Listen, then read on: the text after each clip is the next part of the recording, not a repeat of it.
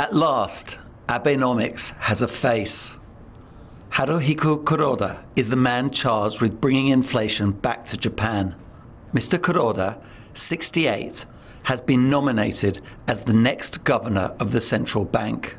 A fluent English speaker, he is a well known figure internationally. President of the Asian Development Bank and a career bureaucrat at Japan's powerful Ministry of Finance, he has advocated looser monetary policy for years. The aim is to rid Japan once and for all of the deflation that has been nibbling at prices since the late 1990s. By recent Bank of Japan standards, Mr. Kuroda is a radical. He insists the central bank has the power to bring mild deflation through the magic of monetary policy. The current governor, Masaaki Shirakawa, frequently stressed the limits of monetary policy in addressing what he considered the structural causes of deflation.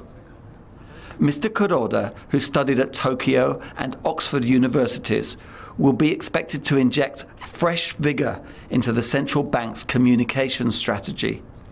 Part of his job will be to explain to a Japanese public why rising prices are a good thing living standards have been preserved partly as a result of falling prices, and some people are wary of sudden change. Under him, the central bank is likely to purchase longer term government bonds, corporate paper, and exchange traded funds as part of a new quantitative easing push.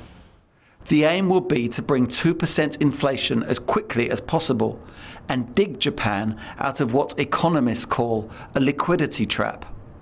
A Kuroda-led central bank is not expected to buy foreign bonds, since that could be construed as an explicit attempt to drive the yen lower. Before any of this can happen, he needs to be confirmed. That will mean gaining opposition support in the upper house. Only then will Mr. Kuroda be able to put the Bank of Japan's money where the new governor's mouth is. David Pilling, Financial Times, in Hong Kong.